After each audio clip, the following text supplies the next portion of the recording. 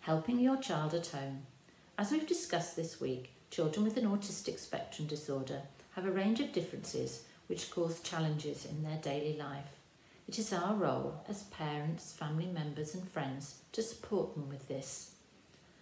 We're going to have a look now at some ways that we can help.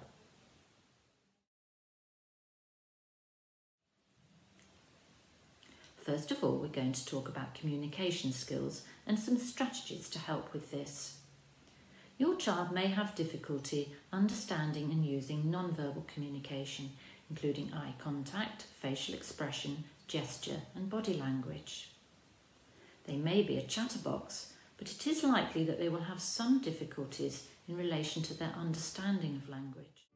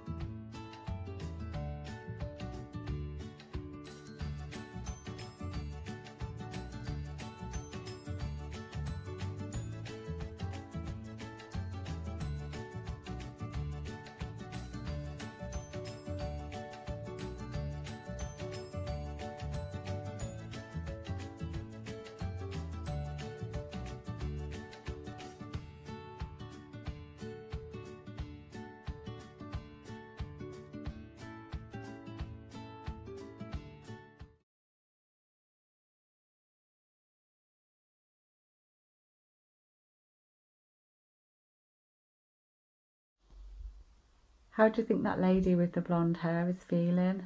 Feels a bit confused. hmm How do you know? Because of Understanding language. Say your child's name before you begin to speak so that you get their attention and give them chance to focus. Keep your language simple, especially when your child is stressed. Avoid using complex instructions with several parts. Divide long instructions into short chunks for example, Sam, brush your teeth, then put your jumper on, rather than put your jumper on, Sam, but don't forget to brush your teeth first. If you're trying to explain something complicated, use pictures, photos, or diagrams to help your child understand. Using pictures will mean that you don't need to use as much language. It always helps to show rather than just tell.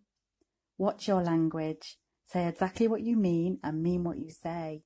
Children with autism often interpret language literally.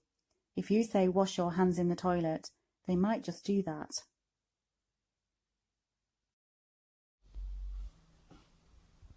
Come on, pull your socks up.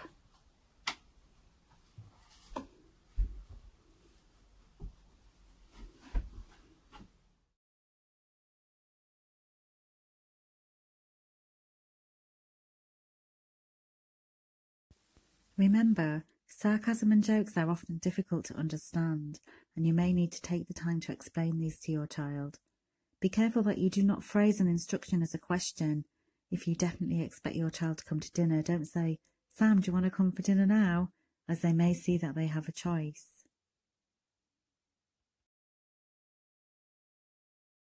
Using positive language.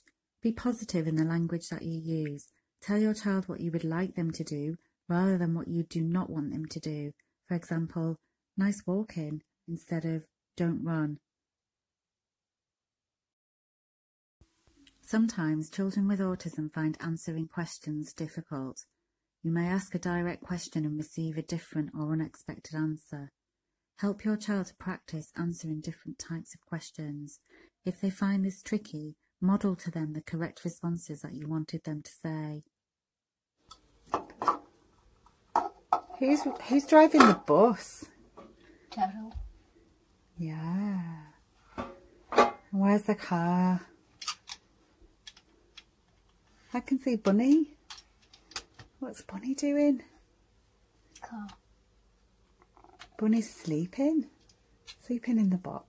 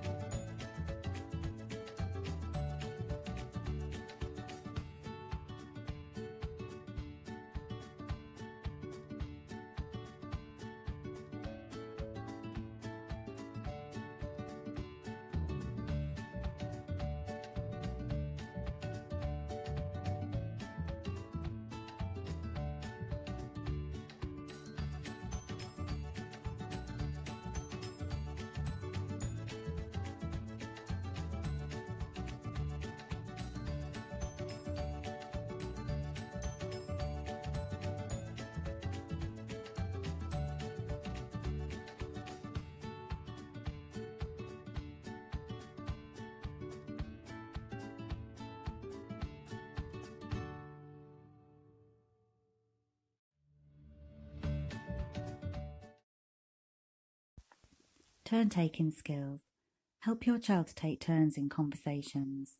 Play turn taking games to help them learn how to take turns. Simple games such as skittles, dice, or board games work really well. Practice taking turns when friends and family are together and talking. Use an object like a toy brick or a feather to indicate whose turn it is to talk next. Oops, try again. Oh, not the plate. Kitty's turn. Okay. Oh, mixing bowl. I can't wait. Who's, whose turn? My turn. Ah, your turn. My turn. You forgot chicken, and you haven't got chicken. No. Harry Onion. Harry Onion. Eddie's turn. Okay. Go on then.